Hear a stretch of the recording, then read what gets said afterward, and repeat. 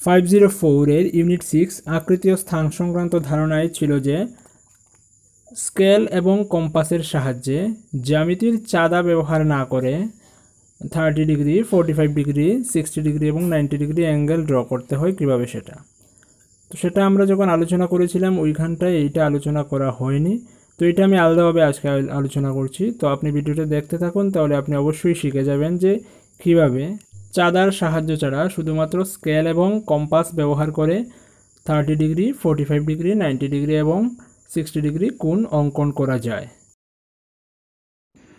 আপনি টিউন করে আছেন YouTube channel DN tutorial, made learning easy with quality materials. NIS ডিএনএর সংক্রান্ত সমস্ত ধরনের সাহায্য আপনি এই চ্যানেল থেকে পেয়ে যাচ্ছেন সম্পূর্ণ বাংলাতে।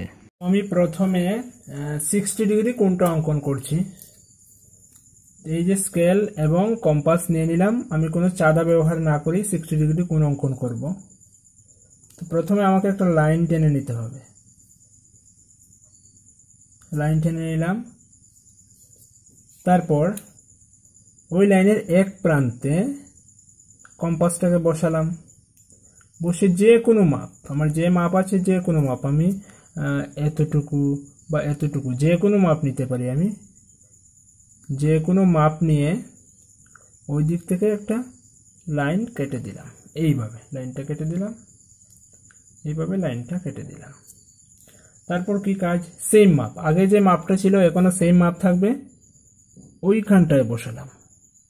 ওই ছেদ করেছে, ওই যে বৃত্তাংশটা, লাইনটাকে যেখানে ছেদ করেছে, ওইখানে বসালাম, বসে তারপর ওই বৃত্তাংশের অপর প্রান্তে দাগ দিলাম, যতটুকু যায়।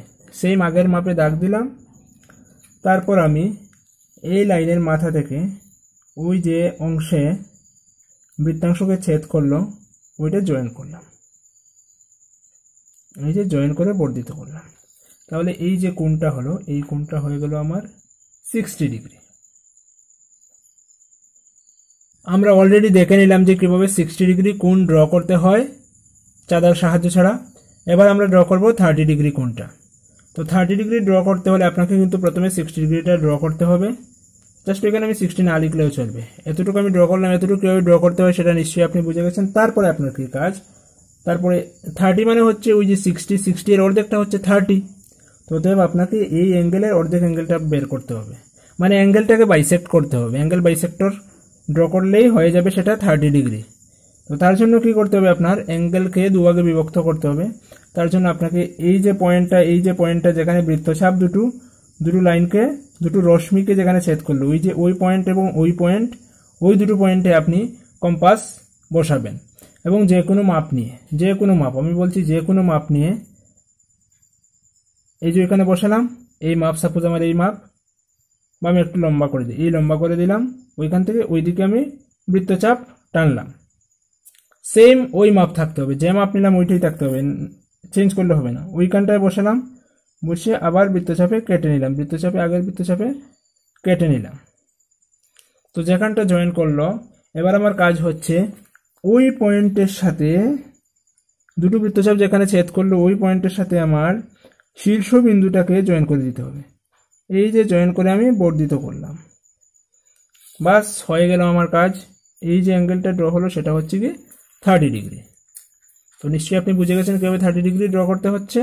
তারপর আমরা নাইনটি ডিগ্রি অ্যাঙ্গেল ড্র করব। তো নাইনটি ডিগ্রি অ্যাঙ্গেল দুইভাবেই ড্র করা যায়। তার মধ্যে খুব সহজ যে পদ্ধতিটা, সেটা আমি প্রথমে দেখিয়ে দিচ্ছি। একটা লম্বা সরলরেখা টেনে নিলাম। হুম সরলরেখা টেনে নিয়ে তারপর সরলরেখার সমদ্বিখণ্ডক অঙ্কন করে নিতে হবে।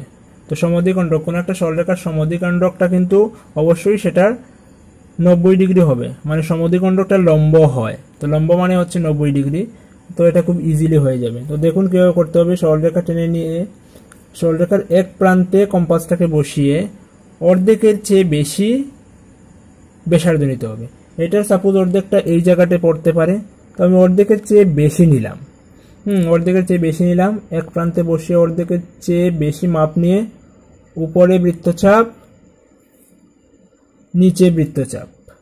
সেম মাপ থাকবে অপর প্রান্তে বসিয়ে উপরে বৃত্তচাপ, নিচে বৃত্তচাপ।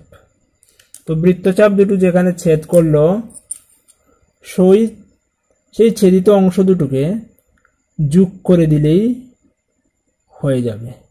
এই যে যোগ করে দিলাম, তো এই যে কোণটা তৈরি হলো, সেটা হচ্ছে নাইনটি ডিগ্রি কোণ।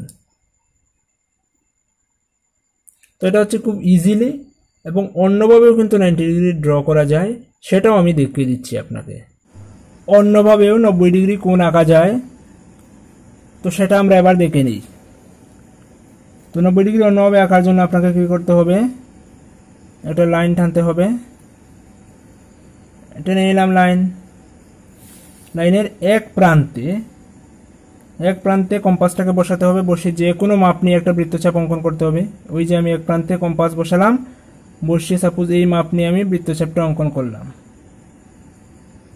এতটুকু করে নিলেই হবে, আর দরকার নেই করার। আচ্ছা। তারপর সেম মাপ, যে মাপে আমি বৃত্তচাপ অঙ্কন করলাম সেম মাপ নিয়ে লাইন থেকে প্রথম একটা অংশ কেটে দিতে হবে। সেম মাপ আরেকটা অংশ কেটে দিতে হবে। তো আপনি নিশ্চয়ই বুঝে গেছেন যে প্রথম যে অংশটা কাটলাম সেটা হচ্ছে, সেটাও যে আমি লাইন জয়েন করি সেটা হবে সিক্সটি ডিগ্রি তারপর যেটা করলাম সেটাও সিক্সটি মানে প্রথমটা হচ্ছে সিক্সটি ওইটা হচ্ছে গিয়ে ওয়ান টোয়েন্টি তো নব্বই ডিগ্রি হচ্ছে এই সিক্সটি ডিগ্রি এবং ওয়ান টোয়েন্টি ডিগ্রি এর মধ্যবর্তী অ্যাঙ্গেল তো তার জন্য কি করতে হবে? এই দুটো ছেদবিন্দুর মধ্য সমদ্বিখণ্ডক বের করতে হবে। তো এই দুটো ছেদবিন্দু যদি মধ্য সমদ্বিখণ্ডক বের করি, অর্থাৎ সিক্সটি এবং ওয়ান টোয়েন্টি এর মধ্য সমদ্বিখণ্ডক বের করলে সেটা হয়ে যাবে নাইনটি ডিগ্রি তো ভেরি ইজি তো সেজন্য আমাকে কি করতে হবে? সেম মাপ যে মাপ আগে আমি নিয়েছিলাম সেম মাপ নিয়ে ওই ছেদ বিন্দু থেকে উপর দিকে একটা বৃত্তচাপ টানতে হবে। সেম মাপ ওই ছেদ বিন্দু থেকে উপর দিকে একটা বৃত্তচাপ টানতে হবে। তো বৃত্তচাপ দুটো যে বিন্দুতে ছেদ করল সেই বিন্দুর সাথে এই লাইনের মাথাটাকে জয়েন করে দিতে হবে। আচ্ছা এই জয়েন করে দিলাম। তাহলে এই যে মধ্যবর্তী যে অ্যাঙ্গেলটা হলো বা এই যে অ্যাঙ্গেলটা হলো, এই অ্যাঙ্গেলটা বা কোণটা হচ্ছে নব্বই ডিগ্রি। সেটা কম্পাস দিয়ে যদি আপনি মেপে দেখতে চান, মেপে দেখলেও সেটা নব্বই হবে। যে মেপে দেখে নিই আমরা কম্পাস দিয়ে। সেটা নাইনটি হচ্ছে। তো বাকি রইল ফোর্টি ফাইভ ডিগ্রি তো ফোর্টি ফাইভ ডিগ্রি ড্র করার জন্য কিন্তু আপনাকে প্রথমে নাইনটি ডিগ্রি ড্র করে নিতে হবে।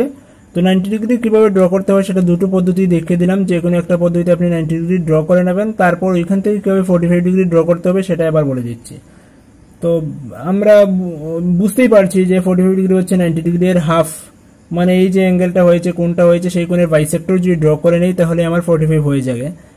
আগে যেভাবে আমরা সিক্সটি ডিগ্রি এর বাইসেক্টর দুটো বাইসেক্টর করে আমরা থার্টি ডিগ্রি বের করেছিলাম সেম একইভাবে নাইনটি ডিগ্রির বাইসেক্টর করে আমরা ফোর্টি ফাইভ ডিগ্রি বের করব। তো বাইসেক্টর কীভাবে ড্র করতে হবে? এই নাইনটি ডিগ্রি তো আমি ড্র করে নিলাম।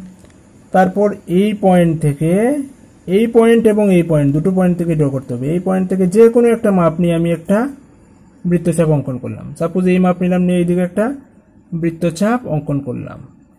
সেম মাপ থাকতে হবে ওই পয়েন্টে বসিয়ে আবার বৃত্তচাপ অঙ্কন করলাম। এই দুটো বৃত্তচাপ যে বিন্দুতে ছেদ করল, এই যে ছেদ বিন্দু, ওই ছেদ বিন্দু থেকে শীর্ষ বিন্দুটাকে জয়েন করে দিতে হবে।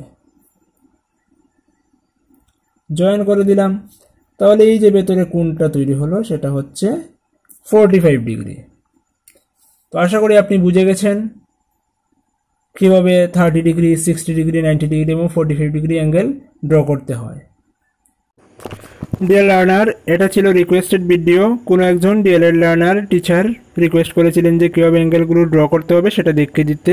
তো ওনাকে ধন্যবাদ জানাচ্ছি এমনভাবে কমেন্ট করার জন্য। কারণ উনি বলেছেন বলেই আমি ভিডিওটা তৈরি করেছি। যদি ভিডিওটা আপনাদের উপকারে আসে প্রসেসগুলো উপকারে আসে, তাহলে আমি খুশি হব। ধন্যবাদ।